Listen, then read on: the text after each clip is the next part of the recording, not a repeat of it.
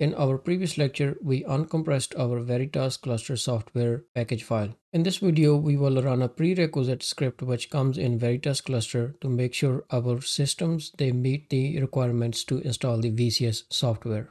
First, we will go to the directory which we have extracted. So we will type cd and the name of the directory which is dvd1-red hat linux. Press enter key. And here we will type ll for long listing here you can see we have two different folders. Since we are using CentOS 7, we will go to RHEL7 folder. So I will type cd RHEL7 and then press the tab key for auto completion. Press enter. If we do the listing in here, you can see we have installer script present in here. In order to run the installer script, I will say dot forward slash and then installer. Press enter.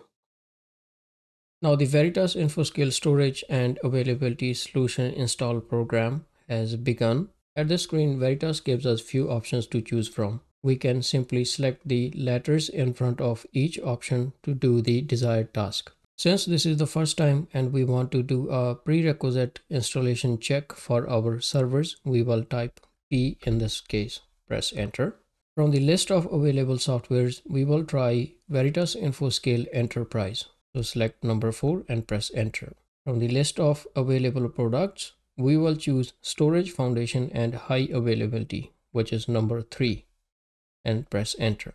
Here Veritas installer is asking us to provide the server names where this Veritas cluster will be configured. So in our case, we will type server 1 space server 2. Press enter Installer is checking its initial communication. Installer is asking us if we would like to set up SSH or RSH communication automatically between the systems. We will say Y for yes. Then we will have to provide the password or the root password for other server. So enter the password and press enter. We wish to do the communication over SSH. So we will select number one and then press enter. Now it asks you to use the path of forward slash var forward slash temp we are okay with it, so we will say yes and press enter. VCS installer script has begun setting up the communication between these systems. So we have to wait and let's see what comes next.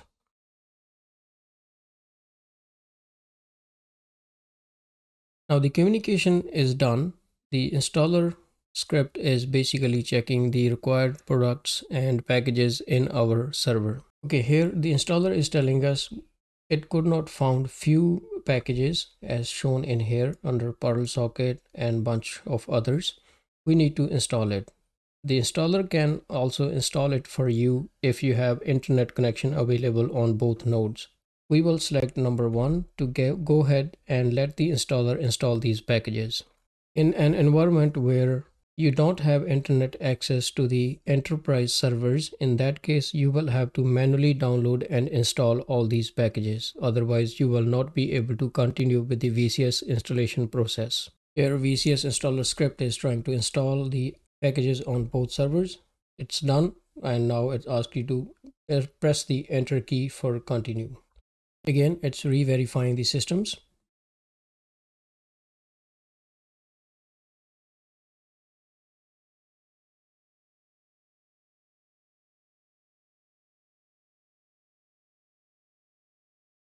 The installer script is done verifying the systems. We have a note about CPI warnings for kernel release. We will ignore that.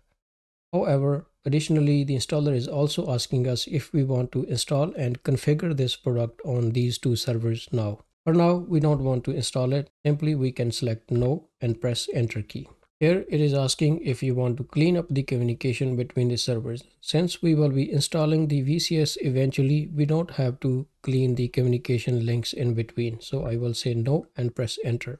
If you wish, you can view the summary file. The summary file is generated under OPT VRTS install logs installer with the date and time. Otherwise, you can click on no and press enter key.